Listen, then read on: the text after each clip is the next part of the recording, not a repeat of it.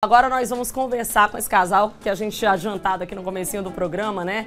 É a, a Luzilene Paz e também o Ayrton Alves, que se conheceram em uma quadrilha do bairro Pissarreira e estão juntos, gente, há mais de 10 anos. E eles recentemente se casaram. Então vamos conhecer esse casal. Olha só, gente, que lindos. Bom dia. Bom dia. Tudo bom com vocês? Tudo ótimo. 10 anos já de relação. Hoje, na verdade, faz 13 que a gente tá junto. 13 anos, ah, então mais de 10 anos, né? Gente, que coisa boa. Agora conta um pouquinho da história de vocês. Como foi que tudo começou? Como foi que vocês se conheceram? Ah, então, a gente se conheceu realmente na quadrilha, né? Foi no ano de 2012. Né? Era o meu primeiro ano de quadrilha e o dele também. Até então ele dançava em uma outra quadrilha e ele foi pra minha.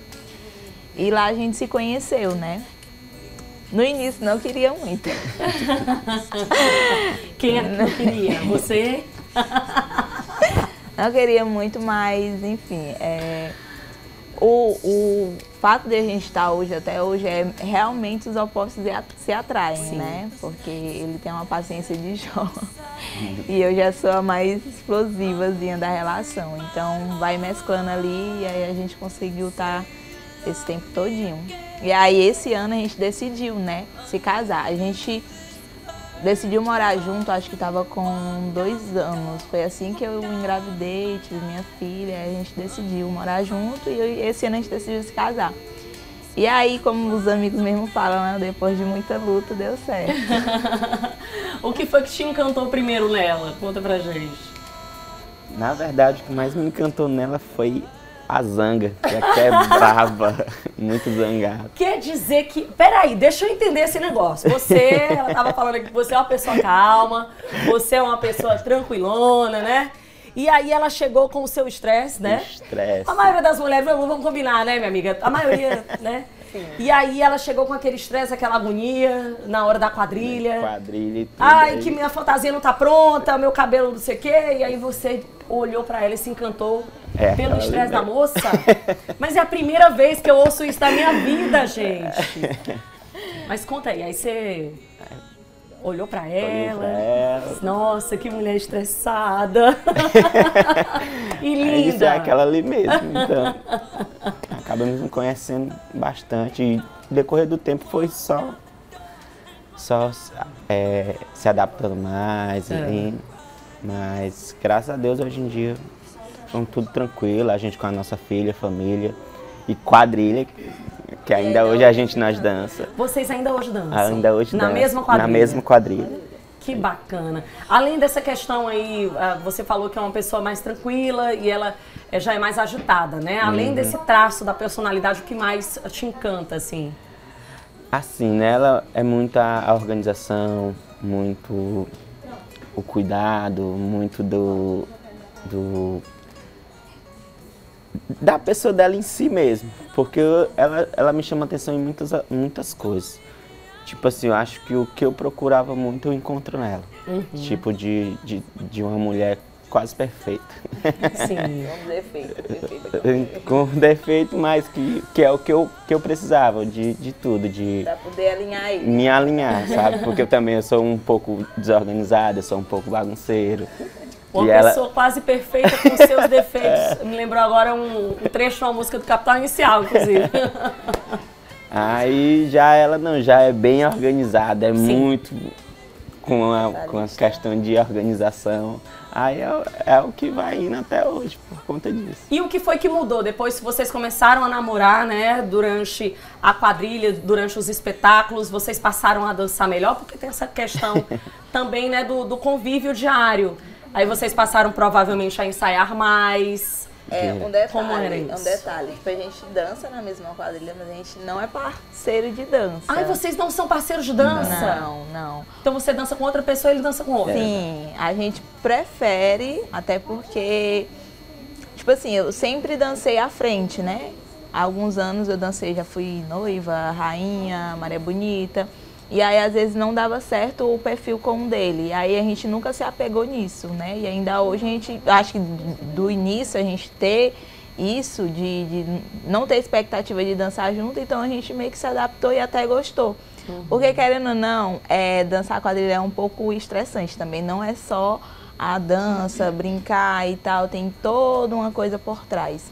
E aí tem a questão do, do, se adaptar com o passo, as químicas, porque às vezes eu tenho uma química com um par de amigo que às vezes não dá certo na dança ali com a uhum. gente, sabe? Mas aí é, foi indo e aí até hoje a gente prefere mesmo. Ele dança com uma dama, eu danço com um cavaleiro e assim vai indo. Existem muitos casos de casais dentro da Sim, quadrilha? Demais. Na nossa, então, tem muitos Ai. que se conheceram na quadrilha, ainda estão na quadrilha e vão só formando. E como é que vai ser nesse ano? Né? Esse ano vocês casaram, Sim. né? Viraram noivos de verdade, porque até então era só na quadrilha, que era noivo e noiva, né? Você já foi noivo também na quadrilha? Não. Ainda não, mas só você foi só. noiva, uhum. né? Mas eh, nesse ano de verdade vocês casaram bonitinho, né? Sim. Como é que foi esse, esse momento do casamento? Ver ver todo aquele amor, toda aquela construção, né? 13 anos de relação com filhinha e tudo. E aí chegar naquele momento e concretizar tudo isso através foi, da cerimônia? Foi incrível. Assim, depois né, que a gente vai analisar como é que passou tudo, porque antes é muita coisa. Sem falar que a gente estava envolvido com a quadrilha, com o casamento, e aí era puxamento da quadrilha, do casamento, do trabalho. Então, assim, tava tudo muito assim agoniado. Mas no dia da festa, um momento antes da igreja, de eu entrar na igreja, eu parei, pensei, refleti, né? Tipo, foi muita coisa que a gente passou já, cara. Muita coisa. É, e tudo isso veio num período junino. E por coincidência, nosso casamento era para ser em maio, março, né? E aí, por dificuldades, igreja, preparatório, foi se caminhando para ser em maio. Quase ia sendo para junho, só que eu optei para não ser por conta das quadrilhas, que ia ser Sim. muito complicado. Uhum. A maioria dos meus convidados, padrinhos, são quadrilheiros, né? São pessoas que estão à frente da quadrilha. Então, eu não queria deixar de, de, de desfazer qualquer uma das coisas, tipo, não ter a presença dos padrinhos por conta de alguma apresentação. Porque, querendo ou não, hoje em dia, quadrilha, quadrilheiro, é algo bem mais sério que antes, né? Tipo, você tem que ter um compromisso muito grande, você tem que ter uma responsabilidade muito grande. Sim. Então, não é mais como antigamente que a gente saía, ah, vamos brincar, vamos dançar quadrilha, todo mundo pega ali. Um... Antigamente era caminhão que a gente andava, né? Em cima dos caminhões, hoje em dia tudo é um ônibus, uma viagem. Dificilmente a gente dança totalmente aqui em Teresina, tem muitas viagens. Então, é uma coisa bem séria, né? Que acaba pegando um pouco ali do, da sua vida, do seu tempo. Então foi muito bom, cara, ver toda aquela galera do início ainda, de como a gente dançou, é, tá com a gente até hoje, num casamento. É, aí tem a nossa filha agora, que pelo visto também acho que vai ser quadrilheira, porque a menina é esperretada também. Quando fala em quadrilha, ela pula logo lá na frente, quer ir pra quadrilha. Ela fica animada. Fica muito animada. Para as apresentações eu não gosto de levar, porque é muito cansativo pra gente, imagina pra ela, que tem dois anos. Mas para ensaio, algumas apresentações mais cedo, leve, e ela fica muito animada. Tipo, muito animada mesmo. Assim, essa aqui já erretou. Olha, eu sei que vocês não são, eh, vocês não dançam juntos na quadrilha, hum. né? Mas eu quero lançar um desafio agora no programa Bom Demais. Será que dá? Não sei. Ô, produção, eu posso lançar esse desafio aqui para eles? É o seguinte, vamos colocar esse povo para dançar hoje, pode ser? Vem aqui, vem aqui. Eu queria que vocês chegassem até aqui, ó, esse, esse local, porque eu quero ver uma apresentação agora desse casal bonito danado nesse Dia dos Namorados, que estão juntos há mais de 13 anos, graças às festas juninas. As festas juninas uniram, então, esse casal. Não é isso? isso? Santo Antônio, aí você agradece. É Santo... Você já fez alguma promessa, alguma simpatia para Santo Antônio? Não. não. Já virou santo de cabeça para baixo? Não. Menina, eu já fiz isso várias vezes, não deu certo, nunca deu certo. Quem sabe esse ano, né? Então vamos lá, vamos ver dança aqui nesse programa.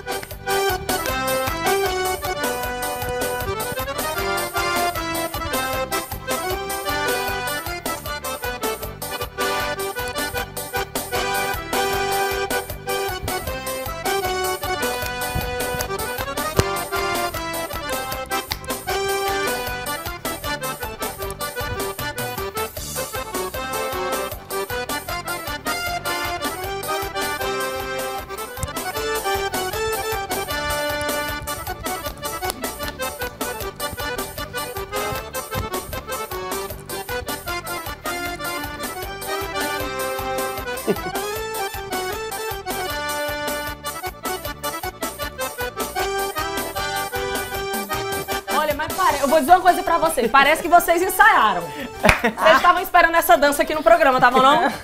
Olha, gente, parece até que eles ensaiaram. Mas há tanto tempo já dançando em quadrilha, né? Acaba já decorando alguns passinhos. E aí já acaba dando certo, né? Inclusive quando a apresentadora maluca chama o casal pra dançar ao vivo do nada. Né? Mas parabéns, viu, gente? Obrigada. Parabéns tanto pelo trabalho quanto pela cumplicidade, o amor que a gente sente aqui. Só vocês conversando, a gente já sente esse amor. Agora, mais um momento surpresa aqui desse programa que eu queria pedir para que você fizesse uma declaração para ela e vice-versa. Pode ser assim? Dá certo, a gente tá com vergonha. Eles estão tímidos. né? Às vezes, meu Deus, por quê? Pode ser? Vamos lá. Pegue na mão da sua amada, que agora chegou o momento especial desse programa. Loves in the Air. Vamos então para o momento apaixonado desse programa, dia 12 de junho. Atenção você que está acompanhando o programa Bom Demais aqui na TV Antena 10. Se inspire! Se inspire que isso aqui é amor de verdade. Vamos lá, tá contigo. Só queria dizer que eu te amo. Mas tem que falar alto, É! tem que falar alto, que é pra todo mundo ouvir. Aqui. É, só queria agradecer por tudo, tá bom? Muito obrigado por estar na minha vida, pela minha pequenininha que tá em casa. É, queria dizer que eu te amo muito e que Deus abençoe nossas vidas grandemente e que venha muitos e muitos anos, tá bom? Ê, que lindo! Agora é a sua vez, é a sua vez, sua vez. É... Não.